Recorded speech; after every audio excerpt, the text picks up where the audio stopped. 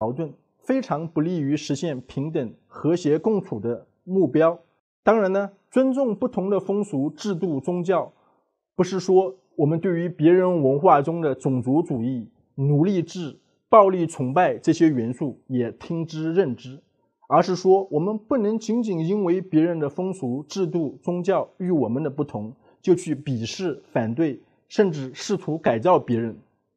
对于别人文化的不合理因素啊，我们应该努力通过友善的对话和合作来努力使别人放弃。其次呢，我们要对世界各国的实际情况，特别是人民的实际生活状态有深切的了解。这个呢，不单意味着我们要花些时间去阅读其他国家的历史和观看最近的新闻动态，还意味着我们要尽可能。亲自去其他国家看看普通民众的具体生活，因为靠文字得到的这个知识虽然很重要，但对于大多数人而言呢，往往很难激起他们心中的正义感与同情心。由这个亲身体验得来的知识呢，常常是带着情感的。当我们亲眼看到其他人被这个贫穷、疾病、政治腐败等折磨时，内心的正义感和同情心很容易被被点燃。这种正义感和同情心是天下大同最重要的基础。那除了培养这个正义感、同情心、互相尊重的这个态度以外，我们还需要建立一套制度来管控这个矛盾分歧。周恩来呢，于一九五三年年底在会见印度代表团的时候，提出了著名的和平共处五项基本原则，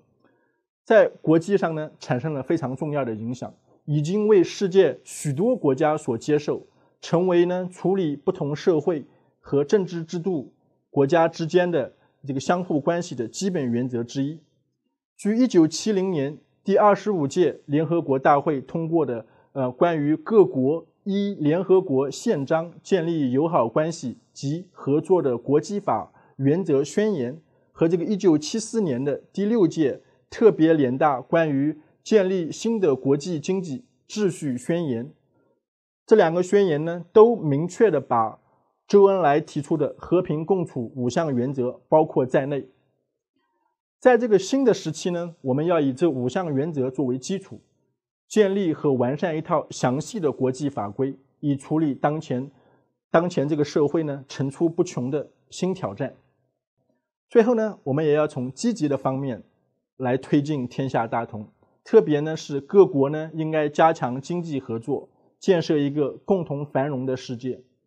如习近平所说，主要经济体要加强宏观政策协调，维护世界贸易组织规则，支持开放、透明、包容、非歧视性的多边贸易体制，构建开放型世界经济。中国当前向各国推广的这个“一带一路”区域经济合作战略，它的目的就在于与世界众多国家打造一个政治互信、经济融合、文化包容的利益共同体、命运共同体和责任共同体。各国之间的经济合作和这个融合，不单呢能帮助全球脱贫，而且呢能增进政治互信、促进文化交流。有助于世界变得更加和谐、更加平等。让我们来总结一下这一小节的内容啊。天下大同，它是一种理想，不是立刻取消国家。天下大同的核心思想是说，世界上所有的人都平等的、和谐的相处。那至少在现阶段，天下大同与爱国主义呢，并不是互相冲突的。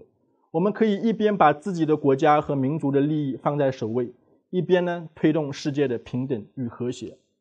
有一些人认为把自己的国家弄好就行了，只要其他国家不干涉我们国家内政，我们就没有必要去关心其他国家的人是否过得好。还有一些人认为呢，只有当自己国家的每个人都过上幸福美满的生活时，我们才可以去支援其他国家。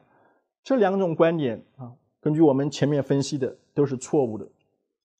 要促进世界大同，需要对世界各国的实际情况有深切的了解，学会尊重不同的风俗、制度与宗教，建立呢一套制度来管控矛盾分歧，并且呢加强各国之间的经济合作。